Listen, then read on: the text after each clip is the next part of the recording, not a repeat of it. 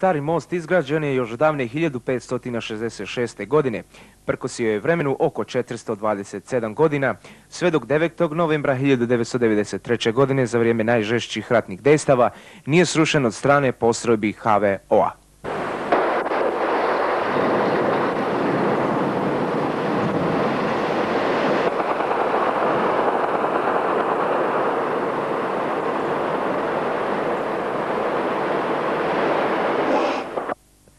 Međutim, danas je potpisan ugovor o početku pripremnih radova na obnovi Staroga mosta.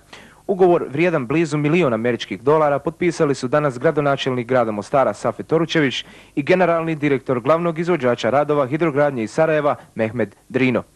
Izgleda samog mosta bit će završni čin, da kažem, izgradnje toga staroga grada.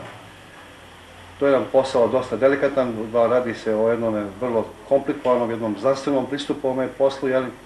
Treba najsuvremenijim metodama vidjeti temelje mosta koji su već pred su bili na neki način malo ugroženi.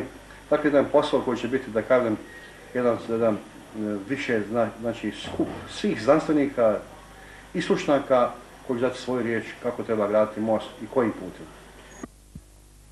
Pripremni radovi obuhvataju fotografska, filmska, fotogeometrijska i geodetska snimanja ostataka mosta sa kompleksom zidova i kula, kao i užeg jezgra Starog grada, a na osnovu prijedloga i po nadzorom Zavoda za zaštitu spomenika kulture Mostar. U ove radove uključena je izgradnja pristupne saobraćajnice rekreacionoj zoni i plaži na ušću Radobolje u Neretu, a sve to na osnovu urbanističkih uslova Urbanističkog zavoda i mišljenja Zavoda za zaštitu spomenika kulture Mostar. Što mislite od kolikog je značaja izgradnje Staroga mosta? Pa ja mislim ako smo 9. 9. 11. 93. bili kao najtužniji krat kad je sušen stari most, tada, sada ovoga dana treba da budemo sretni, presretni što će ipak stari most izgraditi.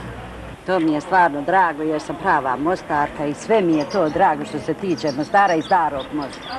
Jedina poruka da to izgradimo što prije i što brže. Da učestvujemo svi što možemo da, da damo doprinos neki za, za izgradnju starog mosta. Stari most obnovit će se na identičan način od istih materijala kao što je bio izgrađan 1566. godine, a pripremni radovi kreću odmah po potpisivanju ugovora.